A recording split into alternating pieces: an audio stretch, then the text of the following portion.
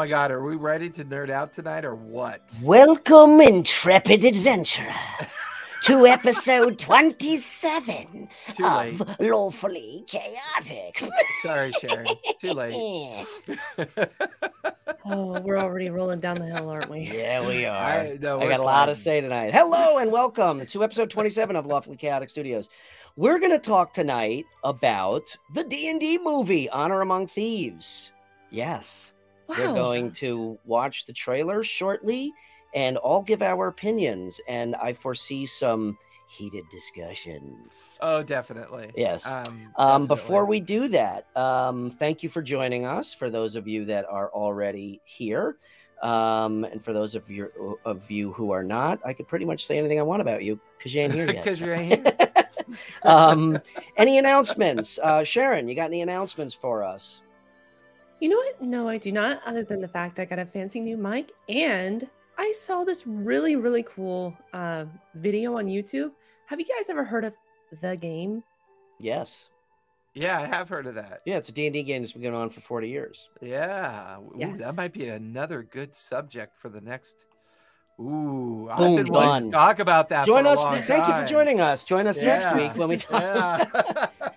Yeah, it's- 40 year it's- long campaign, and you can actually find them on Instagram. It's very Yeah. interesting. Yeah, very it is. Big terrains, and I don't know how he keeps track of everything. Yeah, there was an article uh, about him uh, in It was a news article. I forgot on what channel. We'll find that out. I think that is actually a good topic for next week. Um, cool, and congrats on the new mic. You sound great, Yay! Jason. Any uh, announce them all? Um, uh, yeah, just a couple interesting things. Uh, Grain Lands will be back this Saturday. Uh, we took last weekend off because we went down to Geeks and Teas in LA, and my Saturday game that's been online for almost 50 sessions now got to play our 49th session together live at Geek and Teas. So that was a lot of fun. Yay! A little special, almost four hour session that we had. What is a 49 session? Is that uh, emerald or or tin or Uh, rusted copper or something? I think it's just sleepy old man. Is really what Okay. it turns out to be. Um, 50 is 50 is what diamond anniversary? but yeah, I've I officially signed on my 45th player for my pay to play. So all nine of my tables are now full. sweet. Uh, and Yeah. I'm currently working on my 10th pay to play table over at the D&D club. So if Awesome. you're interested Please, and you want to come play, head on over there. So Cool. yeah, that's all I got. That's all I got. What about Okay, you, well, what do you got with going on? that, with that, uh, let's jump right. Well, you know what? Let's shoot the Do you shit. have any for- announcements, Brian? Uh, We've do all got I- a turn. Uh, um, I, I think we need to talk about a couple things first. Number one, hold I on. I'm trying to think. Of, wait, I'm trying to think if I have any announcements. Oh well, that's fair. Hello and I want- I greetings, want chat everybody- and I- listeners. I want everybody to just watch me think. Process No. I have no like they can announcement. hear anything. I, I have, you can't hear the the gears. can't the- hear you the can't. gears or you can't hear the smoke, so hamsters? you're fine. Um, oh well, you're fancy. You get live hamsters. no, they're they're dead. Oh no. Um, I Okay, Think what, uh, I think what I'd like to do is have us chat about media, the previous attempts at D and D, and what our hopes were individually. And then at the halfway point, let's watch it together. I, I I'm gonna I'm gonna say we're gonna naturally get into discussion about it. So No, no, no, I think no, we 'cause spend we're a gonna- couple we're of minutes. Practice discipline, Brian. We're No, gonna there is practice no discipline. discipline. Dear and, listener, uh, the pot has already been stirred. Exactly. Yeah. So How about not? Ha- let's do a uh, let's do a few minutes or so, ten minutes or so. Not let's not wait till halfway because that way we'll get some chat in here. I got a lot of shit to say about this trailer. So Of course you do. um, There's going to be a this- good cop, bad, sh- uh, bad cop situation. For Yeah. Definitely, definitely. um, and this way we we can uh, we can maybe get a few people in the chat um, uh, to to uh, chat with us. Okay, Yeah, so it's always getting pursuant started. It's always a little bit sluggish. yeah, So, yeah. so pursuant to that, okay, so we can also watch the trailer a couple times during the show. that's fair. Ooh. Burn it into our Um, brains. Let's do it. Enigma all, "Look, Forge, nice, showed." that's awesome. Um, his uh, he actually plays on my Discord. His game has taken a slight hiatus as his work life has gotten a little bit busy. nice. So well, hopefully, welcome, Revival will Enigma. come Thank back. you for joining us.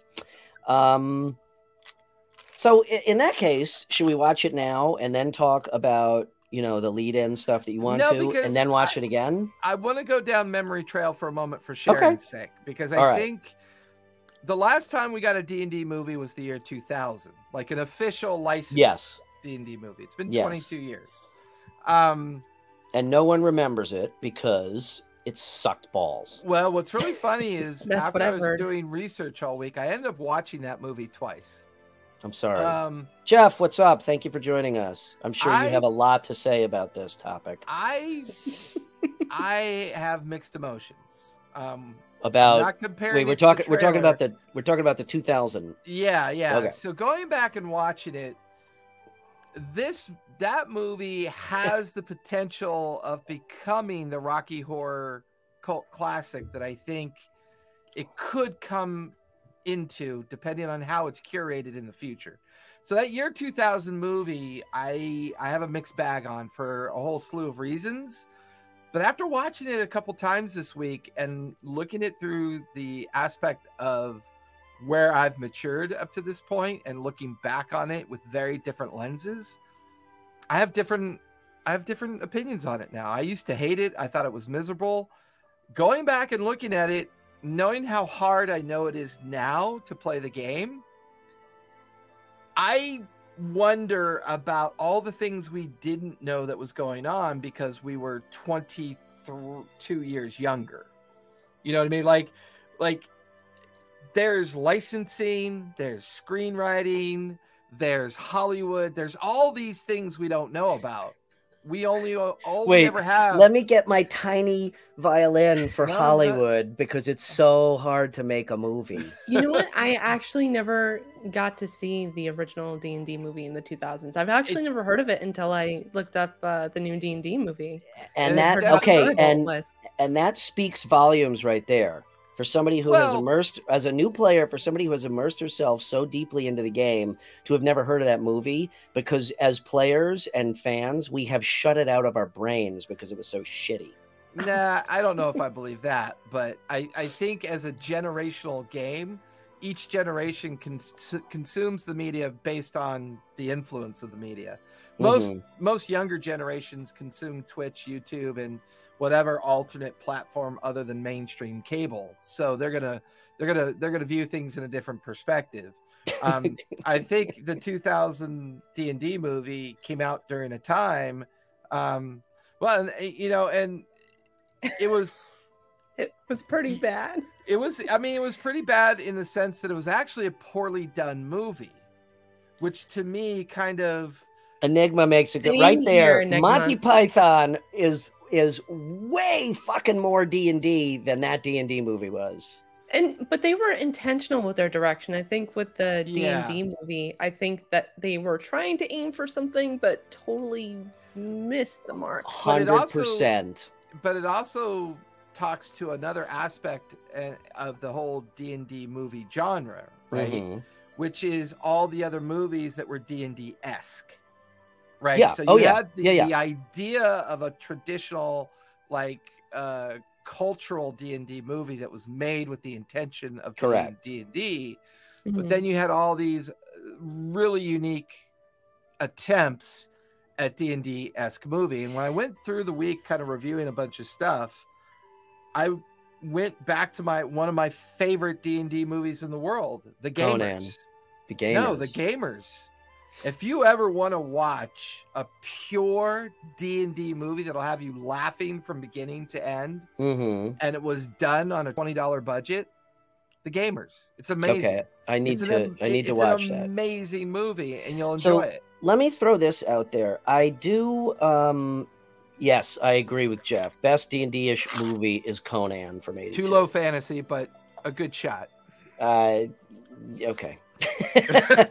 there's there's uh there's D there's Conan there's Excalibur there's Beastmaster there's um Monty Python Oh, Beastmaster was a horrible movie, and I loved it.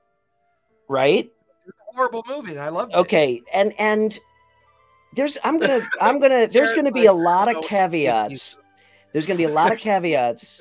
What I said I've never seen it, so I'm just gonna be like, yeah. There's a I- lot. There's going to be a lot of caveats to what I say tonight, and I Mhm. may seemingly contradict myself, but not really. Um, Marc Singer was awesome. Um, uh, and and uh, and and Flan, we we know that you can't stand role playing. That's now known. um, but hey, that's cool because there are a lot of different styles of play. Now, all those movies that we've that we've mentioned so far are like really campy, kind of, for lack of a better word, shitty '80s movies, or you know, right? And they have degree. that feel about them. Now, it may not be fair to make the same assessment of the 2000 D&D movie because it hadn't hasn't had enough time to age, age, and yeah. Become a mature, cult yeah. classic. However, it has been 22 years. So I'm going to say yeah, it has, okay? And the difference is uh, paradox we are staying on topic today, believe it or not um, I think, I think that the, I, I find that the esque movies, the ish movies, do a way better job because, and I don't buy the, if I may, okay, respectfully, Jason, I don't Mm. buy the uh, notion of it's really hard to make a D and D movie because of licensing. Willow, that's another one. Thank you, Jeff. Um, you know, because of licensing and all that stuff. If that is is a, a hurdle, then you haven't drawn up the right contracts with whatever studio you're doing, and you shouldn't be doing the movie in the first place, in my opinion. Okay, So, if you're going to call a movie D Yeah. And D, you need to do it well, that justice. you just answered the overall question is, which is if you call it Dungeons and Dragons, then that becomes a different topic. Like Yes. Sharon, you've seen Game of Thrones. Yeah, I You've think seen honestly, Lord of the Rings. Yeah, Lord of the Rings was like my first sort of like really D and D ish movie, and to be quite honest, I kind of expected this Dungeons and Dragons movie to be kind of like that, but Now, why Uh, why so? Why would you expect it to be like that from your perspective? I think it's my taste in in fantasy. Ladyhawke, lawfully chaotic. Hey, um, I don't know. I just like the Lord of the Rings and it's high fantasy and like it's very serious and it has like romance in it. And I think the way that they're presenting this Dungeons and Dragons movie, it's kind of like another Marvel movie, but I guess it's more easier for people to consume the show, the game, Right. the movie because if it's high Does- fantasy and it's talking about you know uh you know displacer beasts and you know gelatinous cubes people are just gonna be like what what are you guys throwing at me And that and that is a very uh oh that's yeah absolutely Princess Bride. Mhm. um, all of these movies and to your point jason you know if they're not if they don't have d&d in the title then all of these movies contribute to just the feel of what we feel when we played the game and when we do play the game and that sometimes can be in my opinion way way more powerful than just calling a movie d&d and doing a Mhm. half-assed shit job on it a la the 2000 movie. So we're at the 15 minute mark. Let's watch the trailer. Well, go ahead, share before we start. Go ahead. oh no i'll save my comments for after the premiere Okay. So let me get us set up here. We're gonna watch the trailer, and we're gonna talk about it afterwards. Um, we'll watch Brian hate on it, but the rest of us will talk about it. So here we go. Is it that obvious already? Not yet, but it probably will be soon. Let me reset it. No talking. Down in That's front. how Down in front.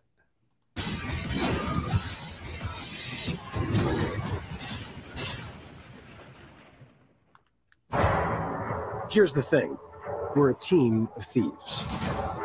And when you do this, you're bound to make enemies. Sometimes those enemies come looking for revenge.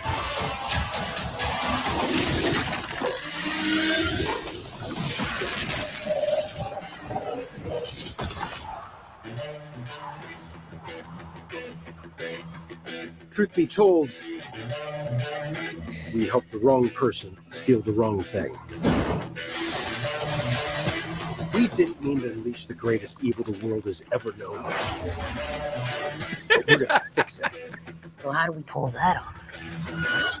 Uh, Figure it out over a drink? probably best. You need to To give us a fighting chance, we're gonna need strength. You got this, right? I know you don't. We also need courage, magic, and you.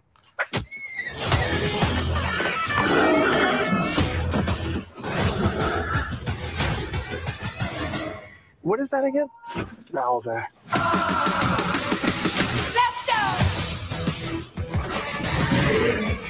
Be warned.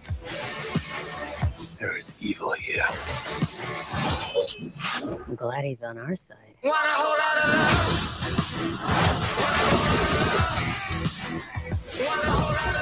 This one's dangerous. But whatever happens,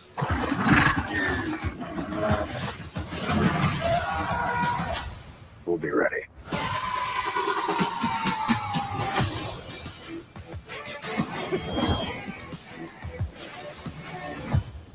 Exactly that you bring to this? I'm a planner. I make plans.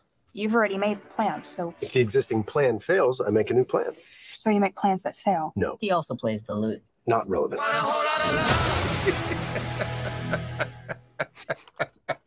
I love it. Hey Brian, how, how, how you doing? I absolutely You love want it. you want me to start? Well, I mean, if you want to, I will say, and I and I hope I'm wrong. Now, again, caveats because I always like to cover my bases, you know. So when I mm. run for president in ten years, nobody comes back and says, "Remember that one time you said that thing about the D and D movie? Fuck you." I hope I'm wrong. I do not have good hopes for this movie at all, at all. Would you like to know why? Nah, it just sounds like bitter generational tears. No, it's not. No, Yeah, it's let me not. let me lick the screen. See how salty not they are. not at all it's not generational at all Please do tell Brian. to me overall and and like- and there's a whole bunch of things i want to pick apart but to me Yeah. okay so let me start by saying the owl bear thing i actually have zero problem with that that doesn't bother me in the slightest And yet you have so much hate for druids. I'm so surprised. well just because druids suck and they ruin the fucking Hey, hey, game hey, hey. You get him, Sharon. You get but 'em. let me quash the owl bear thing right now. So, okay, well, it's a little deeper than that. But pursuant to the topic of if you call it D and D, it should be D and D. It should reflect the rules. It should reflect, uh, you know, the the mythology and all that. Otherwise, there's no reason. You're just you're just uh, slapping. See, boom, second right there. Druids break campaigns. Conversation done. Uh, Rules are meant to be broken.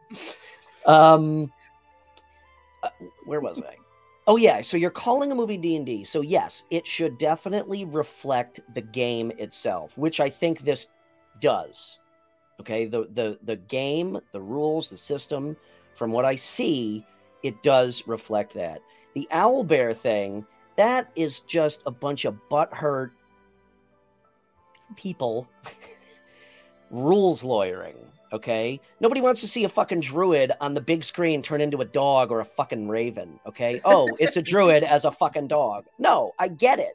An owl bear it's fucking awesome. That's rules lawyering and i think that takes this to a, a ridiculous degree. So all of that owl bear anger believe it or not like i said that is the one thing that i have no problem with at all okay Yeah, but now you just immediately launched into something you're cool with, which automatically goes against the idea of D and D immersion. Well, hold on What a do- second. wait wait wait wait why I'm just saying because according to Dungeons and Dragons, they can't do that. What do you mean they can't do that? I'm not. Yeah, I'm serious. I'm- there. You can interpret the rules however you want to. It's there for a reason. And also, there is such a thing as rule the rule of cool, okay? And that's like exactly what they did right there. Mm. DMs do that you all the are time. free- We've you talked are free about it. to interpret rules. Boom, That's right how- there. Seriously, that it's not. That's not saying like, oh, a druid just transformed into a dragon or a ship. It's like, you know, you're literally picking apart the word beast as uh, in in Mhm. As abomination. And like I said, on the big screen, I do get it to a point. Nobody wants to see somebody turn into a fucking dog. Okay, it's boring. All right. Now, overall, that's the only good thing I have to say about this movie because overall, I gotta say, just the vibe that I get, it looks to me like studio boardroom driven drivel.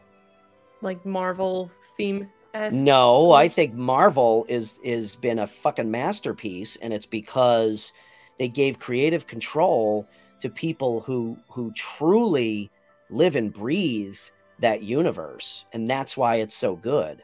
I Mhm. don't see that here. The director, uh, the directors, they do not have a um a and I actually looked them up, believe it or not, Sharon. I did my research this time. They do not have they do not have a very um, uh, broad background of these types of movies, and in fact, Mhm. dare I say, their portfolio of movies is pretty much, in my opinion, again, just my opinion, mostly meh. Other than Spider-Man: Homecoming, which I thought was fantastic. Oh yeah. Okay. So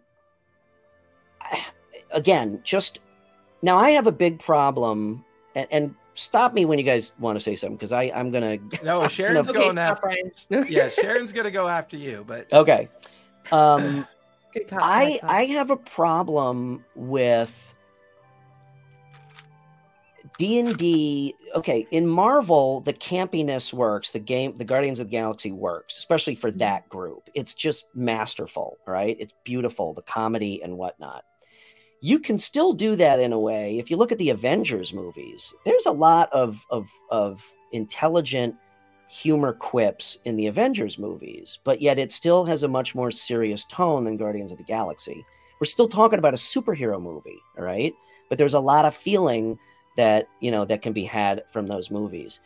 I do not think and this maybe this is just me as a generational player, but I don't think so. I'm trying to look at this, you know, with an open mind.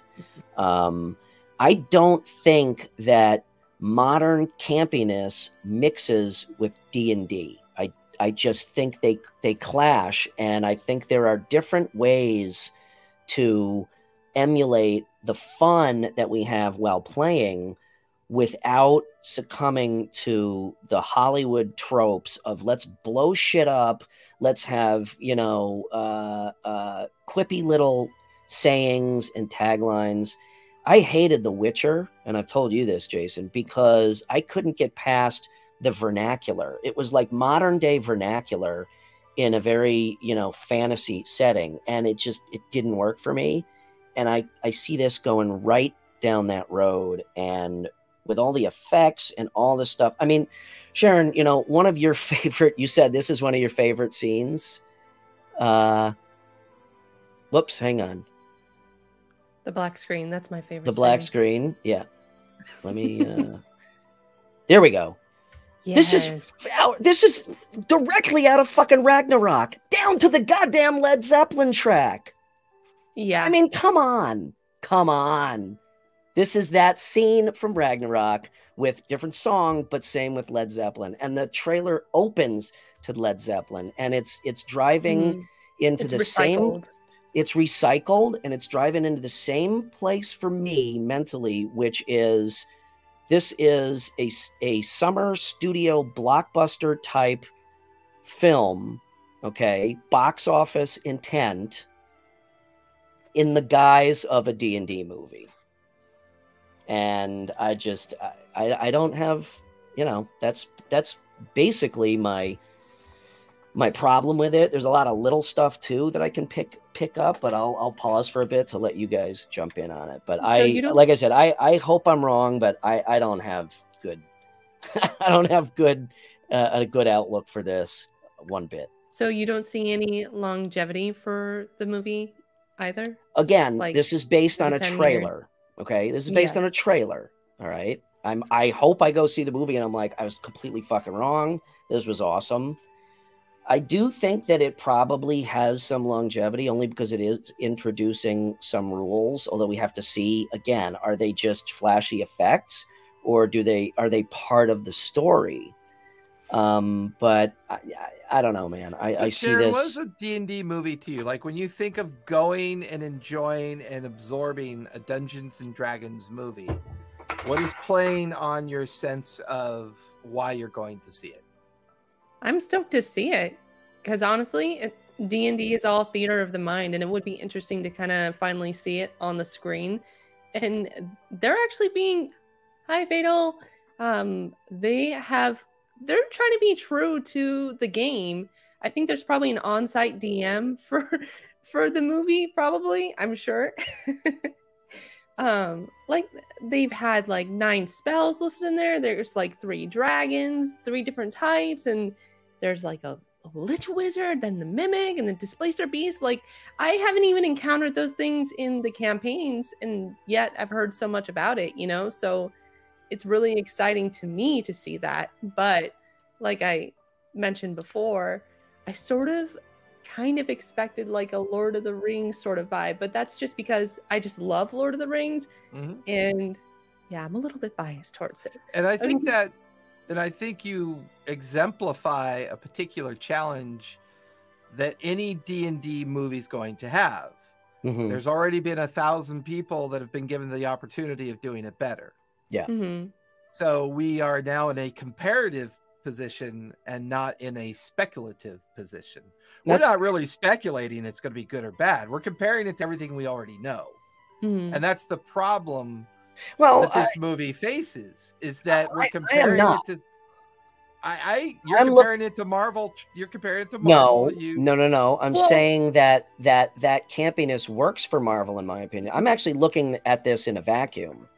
I just think, pursuant to me and my, you know, my belief of what D and D should feel like from the trailer, this doesn't feel like that. I'm not comparing it. So I and I think it's a, uh, it's also a good point. Go ahead, Cher.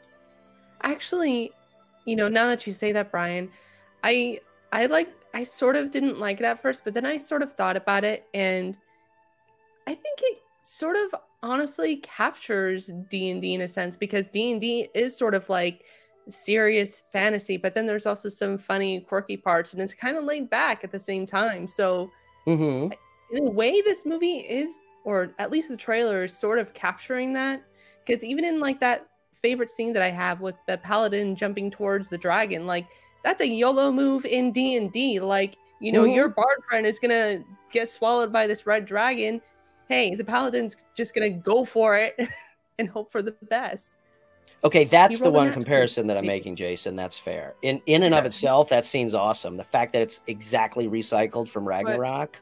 but I but I think what what sometimes we lose focus of is that the way individuals decide to consume entertainment. Um, to be honest with you, I could watch Chris Pine pick his ass for two hours and be perfectly happy. I Uh, he- love he- Chris he- Pine. he's such an influence on me over the way he saved the Star Trek universe. Yeah. Um, and the way he's been involved with that. Um, that for me, a lot of the influences of a movie have more to do with the people and the attempts that they make at it, and less to do with the studio structure. Um, anything done in Ragnarok fashion, I will consume like poisonous Skittles, um, because I love Ragnarok. Skittles Ragnarok to me was the you. best It's my- Thor it's my that favorite. ever came out. it's my favorite Marvel movie. and I feel like the retro Guardians, retro Thor, and I'm hoping they're going for a semi-retro approach with D and D. I'm hoping they do Mhm. because I'm going to enjoy that even more. Um, because I am a product of demographics, I don't care about studios. I don't care about budgets. I don't care about what they screenwriters and whatever they do because I understand how all, hard all that is from one of my previous corporate jobs. I know the precise detail and what it takes to actually make a film. So I don't care about any of that. It doesn't interest me. What interests me is just having a good time. Okay. And I can have a good time watching a piece of shit as long as I'm with friends while doing it. Sure. I can have a good time watching Chris Pine and Rodriguez pick each other's asses talking about rolling natural What is 20s. it with you and picking don't know. asses? I well, it's it's a you know, uh, old men. All we do is stand around and watch monkeys groom themselves. So it's just a reference. But I recognize the fact that I'm no longer in that marketing demographic, and I will say this is a marketed film. It's a genius Mhm. drop of a trailer, absolute social genius drop of a trailer. Um, they purposely duplicated scenes and inlaid scenes from reverse angles and they chopped up the timing so much you never can really draw conclusions from anything they're doing. Oh yeah, which It's is and, a and that brilliant marketing ploy. Yeah, and I and- love and- it for that. and and I'm hoping that that is you know there are some movies that are summed up in a trailer very easily, and there are some where you're like, wow, that's completely not what I expected, even though I watched the trailer twelve times. I'm kind of hoping that's where this one is going. Um, I feel I you know in regard to Chris Pine, I love Chris Pine also. To me, again, I kind of feel like that's another mistake. You got a huge big name actor. Why why not use no names and give him a chance, you know, to uh, at their Well, big break right and let and let the movie be the star instead of the star being the star of a movie that is But I think this. what you stated earlier is a little accurate. I think they're using some baked in processes. Number one, it was filmed during COVID.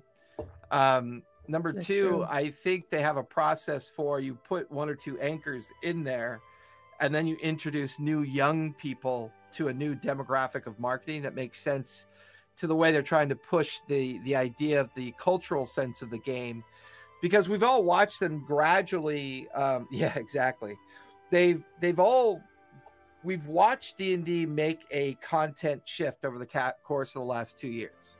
We've Mm. watched low high fantasy shift to multiverse um you know planar fantasy right? We're now in levels of imagination that high and low fantasy just can't really support and we're now preaching the gospel of the multiverse.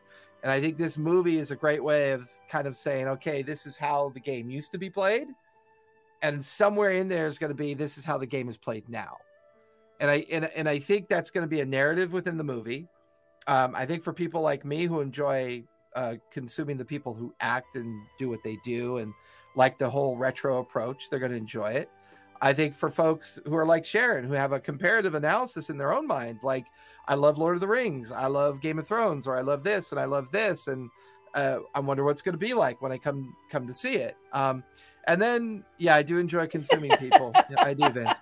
Um, He's a witch. and then you know, Ban him.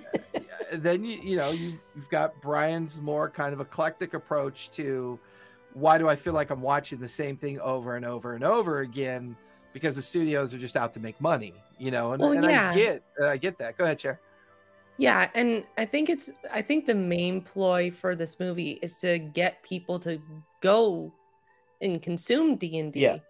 That's Mhm. the hook. That's the hook, Oh, yeah. line, and sinker for that. And there's going to be way more people interested in the game now because of this movie, because it has some of the uh, plots and scenes that people are already familiar with. I'm actually kind of interested um, if they're going to go with this kind of direction if they're going to make a cinematic universe for D&D because Mhm. there's a lot of content for D&D and I wouldn't I wouldn't be surprised if they go down that route. Now, what you that's What do you very interesting. think? What that's very interesting, and I actually agree with you. I will concede that um, as a as a continued means to garner these new audiences into the game that that we've never experienced before up until you know the past few years. I Hmm. think it's it's a brilliant tool for that. I do think because it's not sitting around watching, you know, a bunch of rules basically on the big screen, um, that it will do a very good job of bringing those people in. So I, I concede that point totally. Um, in terms of a of a a uh, like an MCU type thing um, for D and D, I would love to see that. I mean, to your point, there is just there is no end to. I mean, you can come out with a thousand movies and still have a thousand more to write. I don't see that happening with this vibe. I think to do something like that, you can come out with a bunch of D and D movies, but to do a proper MCU type, you know, woven thread, I don't see this vibe being able to um, facilitate that. Yeah, I would agree with that, but I also hope to Sharon's Mm. point she's right because So do I. you know because it would make it would make a fun universe to say the least. It would make a really fun universe. Um, yeah, like the the well, and I think we've got some examples we can modern examples we can pull from. Um, Yeah, I think like- the the success of Critical Role and their transference of fifteen hundred hours of game hmm into a s- animated series. Yeah. So Now- good. Yeah, Right? Vince's, I mean- Vincent's point about, I I kind of agree. I th- I I don't. Now you know what? I'm not going to go there. Go ahead. I was just gonna, No, I was going no, comment no. on animated versus live action. I think live action can absolutely work. I feel I kind of agree with Vince.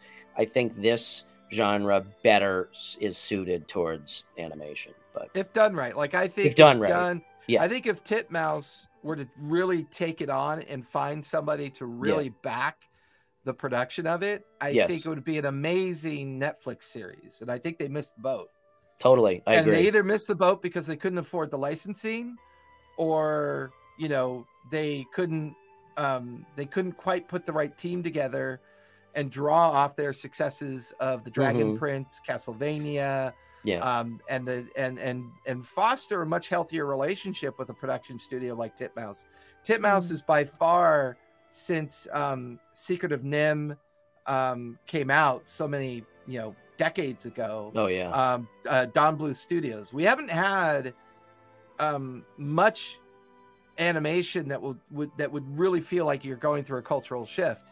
And Don Bluth, who not only did Secret of NIMH, but he did all the anima- uh, animation for Dragon's Lair. hmm And then we just kind of existed for a while on the attempted through rotoscope and and, Yeah. and different methods that people were trying to use.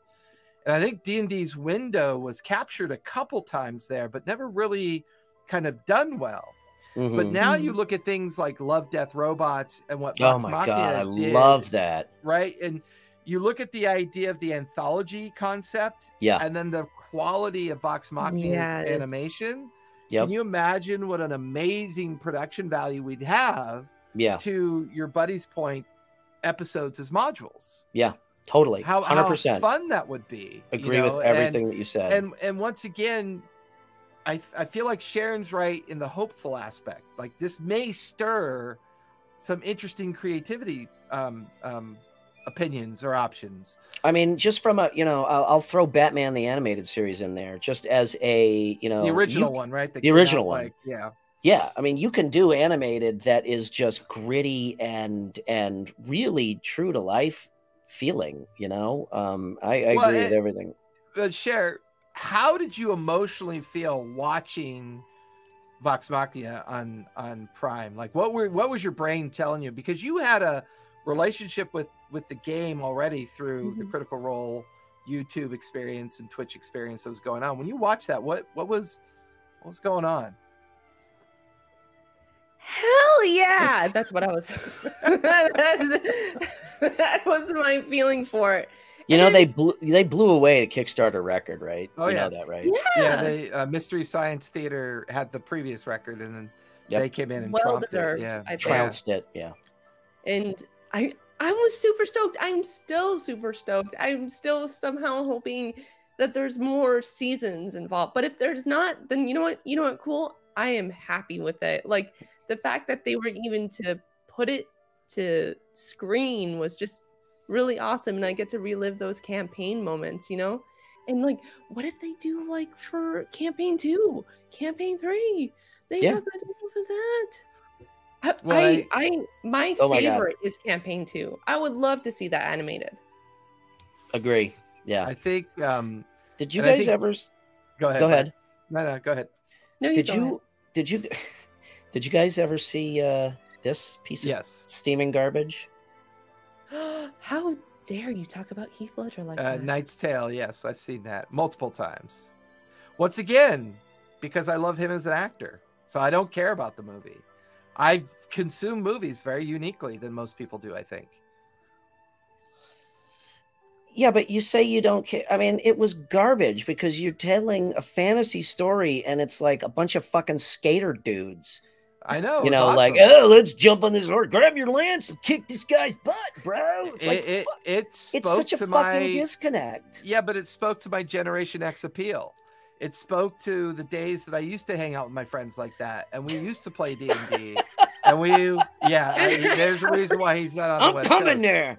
I'm Um, gonna fuck up Hollywood, man. a very D and D movie that's not fantasy at all is you know Lords of Dogtown. I mean, it's an amazing movie about the. um It's an amazing. A Knight's movie, Tale was garbage, know. Vince. I'll fight you on that. but I, I, the reason why I like Knight's Tale, and then I'm gonna let Sharon go. The main reason I like Knight's Tale is because it spoke to me. I enjoyed most of the actors that were in there, and that's what I watched it for was them. Mhm. the story didn't really matter that much to me because I was having fun consuming it the way that makes me feel like I'm being entertained. So I wasn't worried about all the noise and all the artifacts and all about the silly kind of line dancing that they did at the end of the movie. It was just a fun trip. Dude, this has nothing to do with D&D, but have you watched The Bear? No, that looks On like Hulu? uh, that looks like two year old drivel. Oh, dude. Doesn't appeal to me at all. Okay. Conversation's done. Thank you for joining us tonight on uh, on our last episode of Lawfully Chaotic Studio. See? Chad, oh, look at love to- that. See? Vince right there. So fuck you, Jason. I mostly did that for for Vince. No, I there's do a like Chica- the bear. there's a because the Bear- Chicago there's a once- Chicago show. Once again, The Bear is a great hero's journey story. Yeah. Right? We all love the hero's journey story. And I and I think that plays into it. Go ahead, Cher. You were gonna say something. Well, no, wasn't there a show that had um, what's what's she has red hair, green eyes. She was part of Geek and Sundry. Um, Oh, uh not not Felicia Day. yes, yes, Felicia Day. She was in a show that was like it kind of had like yes. The guild, yeah. That was like nerdy sort of D and D vibes to it, and I freaking love Oh, there- that show. Yeah, it's a great show. I loved it too. I I haven't I loved seen it when they I rebooted it because it was fun watching them all age. Mm-hmm. You know, and they rebooted it and they came back for another series of the guild. They still do stuff on Twitch together. They still play together. I Let me- watch them play. Yeah, they still play. Let me ask you this, Hmm. both of you. Hmm. Uh, is it fair to say that one of the the funnerest parts of D and D Is making up words like funnerist. exactly and Okay. making characters, right? What am I going to be? Mm-hmm. Right? Eh. eh. Jason, Whatever. you're just disappointing the shit out of me. Eh. I'm the forever What's with the- what the fuck? What's with the character characters? choices in this movie? Uh, well, Mostly pursuant to races. well, First of all, the that brings us druid is she notes. Is she a point. tiefling or is she like a satyr? Or Yeah, something? she's a No, she's a tiefling. tiefling. She's a tiefling. Right. Okay, She's a she's a tiefling that looks nothing like a fucking tiefling. Looks like somebody trying to cosplay a tiefling by well, sticking hold on a horns on. second.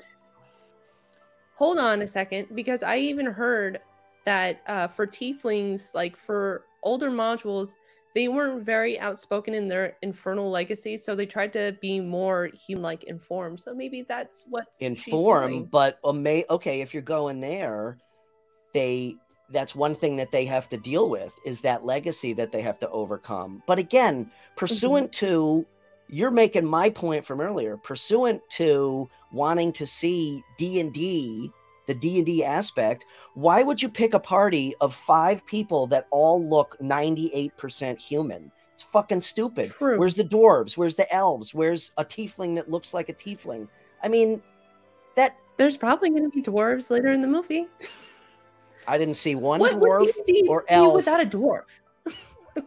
It wouldn't be a very short movie. I didn't see one dwarf or elf or a tiefling Is that that a looks like a tiefling in that trailer. So that's another issue that I have. You specifically even put one in and you made them look totally human. So first of all, the black dragon I think is not a traditional black dragon.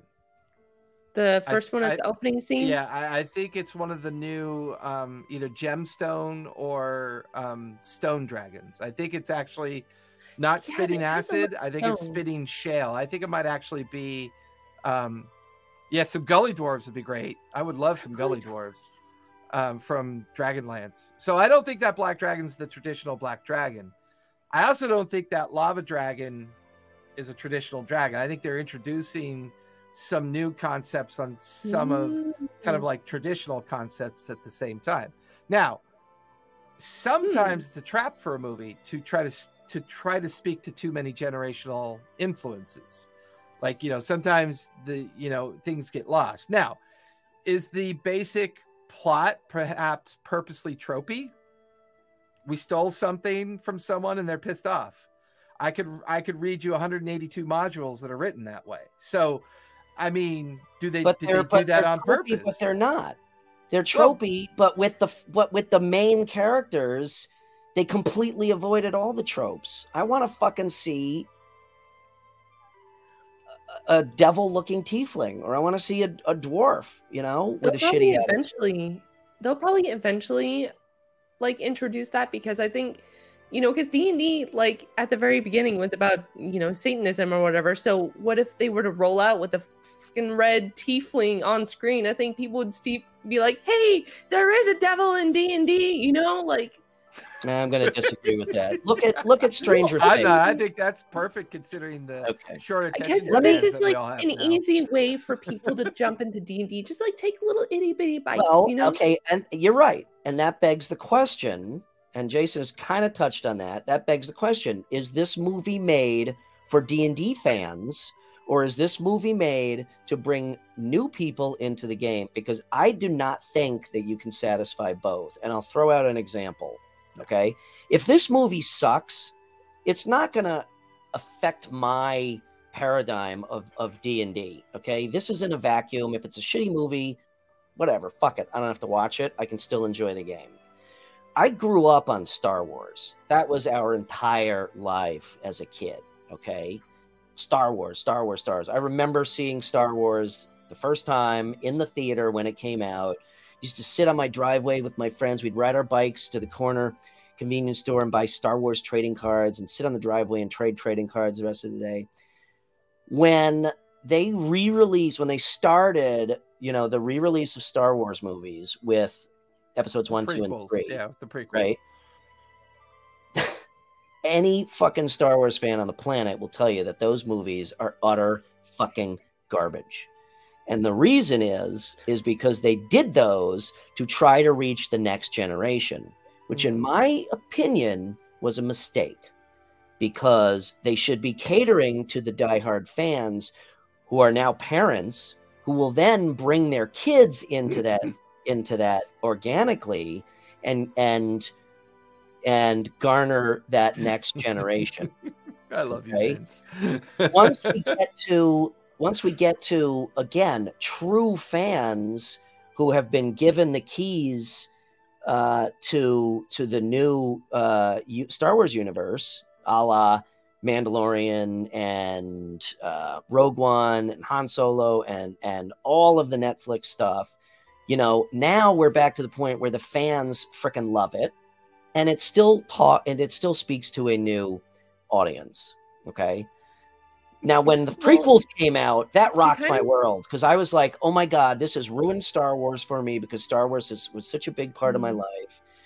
But my point ahead, is, Cher. my point is again, and then I'll shut up. Yeah. Oh no! I don't think this movie. I don't think Okay, you well, can appeal to, to both kind of audiences. dovetail for everyone's mentions um i think when jason mentioned about the uh i think you said weapons or maybe i just popped into my head but since this is a movie that's introducing a new audience and maybe they're going to be introducing new weapons or new items as well and maybe just maybe what if they make like a new d&d campaign out of this movie to like further kind of pave the way for new players to play I, Well, yeah. I thoughts? mean, that would be a great idea from a I marketing mean, the, standpoint. the movie feels like a box set to me, mm-hmm. And I'm perfectly fine with that. and um, if that if that is the purpose, then I, I can't argue with that. For me personally, it's probably not going to appeal to me very much. Probably not. I don't think it's going to touch enough of your hopes that you want it to be because there's no such movie like that that exists. Um, those movies come Mhm. across by accident. Those movies happen by accident. I mean, the yes. originals, you know, the original Star Wars was an accidental film. It was never meant to be made. Oh yeah. You know, it was a pure accident. Um, I don't know if you've ever watched a Fellini film. No. When you watch a film for its artistic intent hmm versus the material or story intent versus the studio project feel that a movie has. hmm Um, I think the one thing we all have to exercise as good stewards of our own money is that once you pay that ticket price, the only opinion that matters is your very own, not the other ones. hmm And and I think when you start watching movies and you have too much fandom anchored to something, you're already disappointing yourself before you've watched it. And that's not a, a dig on you, Brian. That's a very common thing I, I don't Did I disagree with that. you know that I see through all kind of ways that things are consumed. Like I'm a huge Orville fan. I think Orville was the star was the Star Trek we've been looking for for years, and then Star Trek Strange Worlds came out that feels like Orville. hmm You know, so suddenly people are beginning to listen. You know, But it's And- it is do it is doable. I mean, look at the Lord of the Rings franchise and look at the Marvel franchise. It is it it is doable. You know, it is perfectly um, possible to put out a franchise of movies based, you know, cemented so strongly in a in a fandom base and But- still be fucking awesome. but I wanted to go back to Sharon's point when she brought up the Guild. And then it's Um, also possible to fuck it up, like basically almost everything DC has. But when Sharon brought up the guild, I hadn't thought about the guild for a while. I had thought about gamers for a while because gamers was really fun to watch.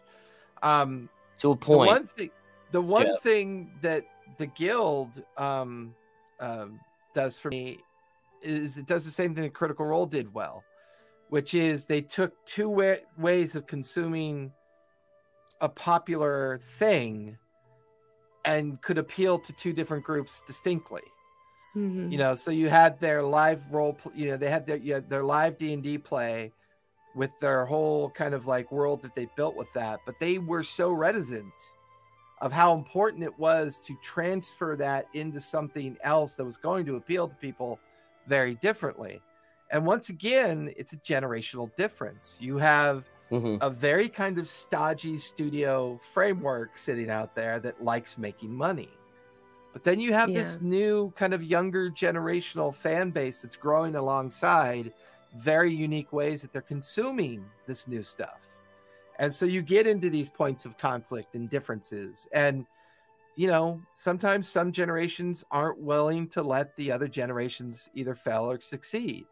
But Critical Role has proven without a doubt that that generation is capable of doing so much more than we give that generation credit for and that's part of sharon's generation and i think as these generations kind of migrate to the apex of control we're going to see a lot more uh, entertaining uh, uh, cultural related stuff that's going to be better and i think d&d movie coming out and i think it's actually going to do well because i think it's going to appeal to the right audiences it's going to probably describe that we are now in the height of the golden era of D&D and we Mhm. have no Mhm. place now but to go flatter down and that's just a natural cadence that culture goes through that pop culture goes through yeah, and, I- it'll it'll it'll bell curve down for a while and it will get Mhm. rebooted and become something else later. But i think this movie takes into account a lot of what got us here takes into account the WotC corporate mentality in conflict with a paramount studio mentality. We're seeing that play out. And we're seeing that this is probably the last real big thing you'll see during the golden era. You'll see more critical role animation you'll see other people attempt animated series i think i think we're saying goodbye to the old way of things being done Yeah. and i think the new way is going to gradually take over yeah, and i think and this I don't. is just one of those kind of little hiccups in the road that's proving that that point is going to I mean, it's continuing. you know, to be fair, this could be a hiccup for me. Will it be a hiccup for the game in general? I don't No. think so. I agree. I think it's Mhm. going to do well. What I can see happening, uh, and let me make a. First of all, I have no. I'm not. I'm not unwilling to give up my generational ownership of this game. Okay, quite the contrary. All right. I mean, I love Critical Role. I've You know what you can't do when you're dead, Brian? You can't play D and D. You're right.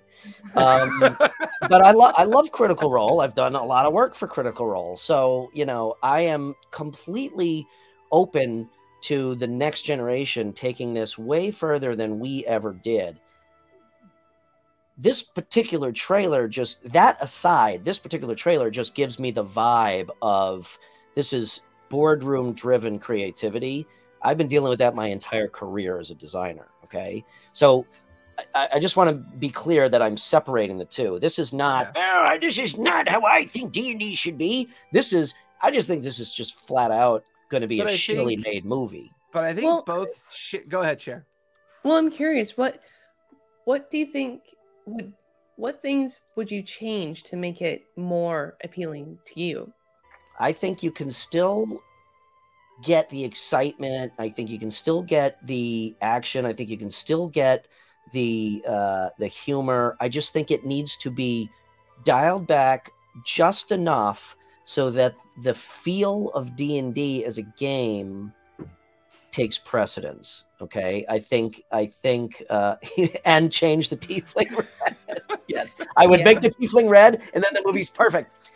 Um, I, I just again, and, and this is all pursuant on watching a two minute trailer. You know, I'm gonna. The nice thing about this is we have another episode coming up after we see the movie. Oh yeah. Well, we'll probably So- do another episode when they drop another trailer. I mean, the movie doesn't Oh come yeah. out till Oh yeah, yeah, yeah, yeah. We got a couple more. And in in typical fashion, But something else that you you, know. said that I do want to touch on Hmm. is even if the me's of the D and D world hate this movie, okay, I think that it could very well be just that you know that open door to introduce people that still have not yet played the game, don't know what the game is, and get them into it.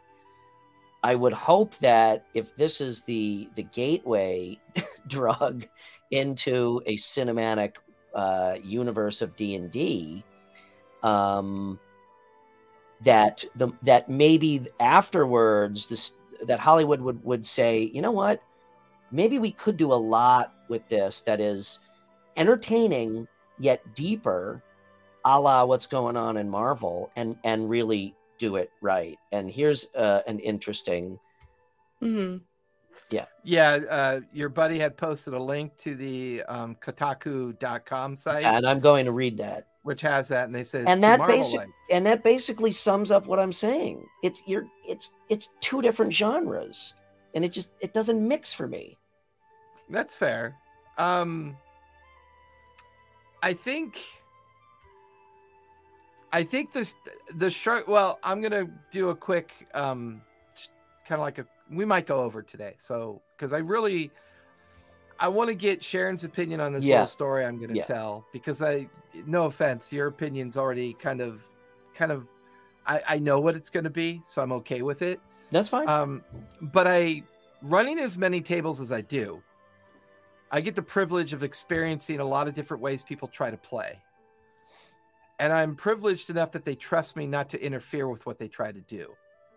That the affirmation of the game is the emotional the the the emotional fun that people are having because they feel safe enough to try to fail and to try to succeed at the same time. I have a player in my Wednesday night game who only made it as far as second edition. Um, and now he's, you know, a, a member at our table. Um, and we're, you know, we're playing the adventures of Nicodranas and we're taking on the cult of the Chained Oblivion. And it's going to be mostly a dungeon crawl with some city activity later on. And watching him play for the first time last night was probably one of the most emotional experiences I've ever had because at the end of the sessions, I always take five minutes to talk about the session and get the feel from everyone on, on how it went, how everyone felt about it. And it was an incredible moment for me. It was an incredible moment for me because I no longer view the game as something that has to be owned by a generation. That matters virtually zero to me we are privileged enough to be a part of something that has now encompassed so many generations of play that there's virtually not a single comparable game out there that can stand up on that same kind of legacy of you know my grandfather's father's brother's nephew played or niece or grandmother or aunt or uncle right? There's just 10 years goes by 10 years goes by 10 years goes by. The only thing unique about this current generation is the access to so many different ways to consume something that wasn't able to be consumed other than one single way you know? And i Mhm. think we're watching that play out i like the fact that it looks like marvel because i think that's going to help a lot um, i'm in the business of of earning a living through the d&d you know the d&d brand um, so i know that movie's going to help with that i know that movie's So all this is is a gateway. personal greedy money grab for you. I get it. Eh, not necessarily I'm- greedy I I'm totally joking, dude. go ahead share I'm joking. I think to me, this is like a grand opening for everybody. Just like kicking open the doors Yeah. and just saying, yeah "Come on, guys! come check it It's out What- great. Just come or on even in, better jump yet, what you just said, Cher. Come check out what you've been missing. Yeah. You know how Come on, hard it woo. for people to find games. I mean, we did a whole episode about it. You Yep. know, it's hard. And this Yeah. amazing, glossy movie that takes a very Marvel esque approach with a kind of over the top budget with probably a little too much corporate involvement. And they've got some pretty decent actors and actresses together, although I don't like to differ between the two. They got good actors together. Um, and I think we're going to see something unique come out of this. I think the parts that are going to be bad are the ones that the corp touched, and the really good shit is going to be the ones that they didn't touch. And something's going to come out of that. I, I, I, I feel like that was the lesson that was learned from Star Wars. Um, I feel like they're learning that lesson with Doctor Strange. hmm There's a lot of lessons to be learned with Doctor Strange hmm the way they treated the Red Witch in that movie, I couldn't even finish the movie. It was A so lot bad. of a lot of people had a problem the with her way they treated her character, Yeah. the actress, the narrative of the all-consuming 1950s out-of-control mother was awful, and they're gonna learn a valuable lesson from it. Um, I think Rogue One also to- taught Star Wars a valuable lesson. So there's gonna be two things out of this movie. They're either gonna learn Well- from it, or it's gonna be another 20 years that we wait. But you know what the main difference is, though, is that people can actually jump in in the adventure. You can't jump into Star Wars. You can't jump Mhm. into No, Lord of the can't. Rings. Yeah. You can, you can live and breathe this adventure, and And That's that's why I like your original comparison with being a gateway. Like, here's the door. Look at what Yeah. you've been missing. Why aren't Yeah. you playing this game? This, this, this imagery representation we're giving you is just a microcosm of an entire amazing culture you could be a part of, as well as play a most amazing game that you could be a part of. So I yeah, agree with I, you. I do think I think and I hope that to your point, Jace, um, that this will be a learning experience. And I, I kind of see this as like a test bed for for the studios to kind of realize like, okay, we there is money to be made, Mm. and now there's a deeper level um, of content that can be had um, in a Mhm. much more thoughtful uh, way, for sure. Well, So- and, and I would say, as an example to that, um, if you go into the YouTube sphere and avoid the comments and avoid all the toxicity that is the YouTube comment robot space, and you do a search for anything D and D movie related, type at the end of it fandom. Hmm There are some really cool fandom pieces out there Oh, I'm where sure. they've taken actual D and D movies, either that went straight to DVD or whatever, and they've redone them. And I'm sure that they're way better than that, Right. So, and that's the other thing I love about this is that it's like people Yeah. are so willing to accept what they get, but then use their own creativity, which is to the very na- nature of the game. To Okay. Spin it into something that's fun. let me throw this out there. Um, unless somebody has uh, anything else, um, kind of major points to make. well, Do you? Starting with number five of my 29 points. No, I was I going to want to ask. take an hour let's- to talk to you. in fact. I- let's let's end this on a on a, a positive note. And I'm speaking should they for or should they not reboot? And I'm the I'm Barbarian. No. I say they Um, reboot well, actually, no, that's another. That's a whole nother. Uh, what is? Let's all say what we are. What is our favorite part of the trailer? Like, or the most exciting glimpse Okay. of something that we're most excited for. You go first, Brian, then Sharon second. No, I got to think about it for a second. Uh, he's got to think about it for 10 minutes. Cher, what was your favorite part? Well, you all know that my favorite part was when the paladin was jumping towards the red dragon as it's being ch- chomping the the bard. But also another cool part is uh, when one of the cultists was using Misty Step to avoid. Um, I think it was. What was that was it? pretty It cool to see that spell have some action. Ray to of it, right? Frost Yeah. from the sorcerer. Yeah. That was Yeah. really Yeah. cool. Yeah. I I was like, "That's Misty Step." That's so cool. yep. yeah. The, Uh, I will it- say, th- I got to that. That also, I that actually stands out for me too. Is the Misty Step spell. Yeah. Um, but otherwise, I actually I love the owl bear. I think all the rules lawyers I- can fuck off personally because I- again, I want to see a druid. If a druid is gonna wild shape, I don't want to see him wild shape into a bird. That's been done. I think the owl bear is pretty cool. There were so many nostalgic moments for me in the entire trailer that it's hard for me to find one that sticks out. Um, I think they did a pretty decent job of giving someone like me a glimpse at what the Red Wizards of Thay might have looked like. I Mhm. thought that was Yeah. kind of fun. It may Yeah. not be Toril, it may Oh. not be that world. I don't know, but it was fun to think that it was possible. Uh, the This is Displacer this is Baldur's Gate, right? Or is it Waterdeep? I think it's You guys I have Baldur's think no it's Gate. idea. Waterdeep. Uh, it, it's. I have The mimic idea. was really awesome. Yeah, the The mimic was Beast- awesome. And the reason why I love the Displacer Beast and the Mimic so much is I liked what they did with the Displacer Beast with that quintessential go at the camera because you'll never see that in the film. It won't be in Mhm. the film. It's designed for a trailer. Yeah. So you won't actually see that. The Mimic was amazing because for the longest time I've always had to describe to my players, well, Mimic uses its tongue to move. And they're like, well, how would a Mimic do that? Well, now you've got video to prove that's what they fucking Yeah. do. They use their Yeah. fucking tongue to move to 20 feet. Because how could a you know how could a chest with a tongue in it move? You know, so I thought that was really fun. And you know, let's face it, the most famous line in any D and D game. Let's go talk about what we're gonna do over drinks. Mhm. You know, that's how we all meet in a tavern. Have That is, yeah. have you have you guys ever seen a mimic with busted teeth?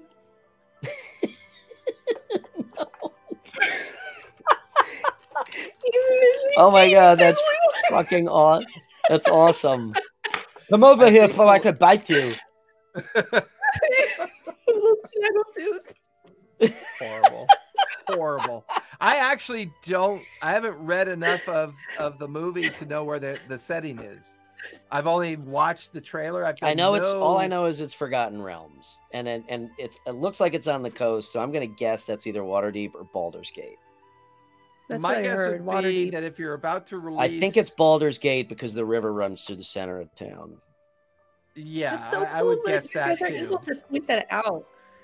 That's so cool. I, I was hoping that it, Nerds. yeah i know we are nerds i was hoping that it was just going to be an air like a, a, a, a if it does turn out to be the sword coast and it does turn out to be Baldur's Gate, then perhaps this is also the gateway to us finally getting a Forgotten Realms reboot, like a codified one.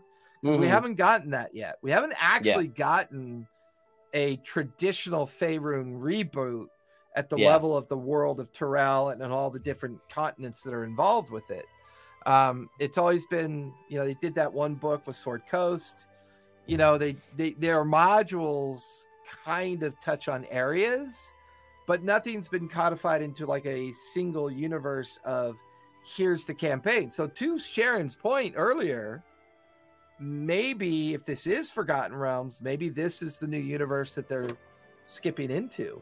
Like Could maybe be. this is where they're finally saying, all right, Forgotten Realms is multi-generational Mhm. and there's a lot of of PC love and there's a lot of YouTube love for it and there's a lot of kind of like creative space love for it um that maybe this is finally that reboot and the gateway into a whole new line of books and modules and multiverse related stuff. And we're going to see a whole reboot to the legendary status of, you know, the Faerun. And suddenly we have this new thing. Um, I, and I'm okay with that. I've always loved Forgotten Realms. And if it turns out that's what it's located in, gonna love it all the better. All right, that was a cool summation. Sharon, you and I will do one now. What's your What's your overall summation of this? Of, well, I think it's pretty exciting, and like I've stated before, I think this is just you know opening the doors for everybody and just telling everyone to come in and grab a drink and tell a story, and to feel it and live it, but also to just invite a whole new slew of players to jump into D&D and share that excitement with old players, you know? That's really cool.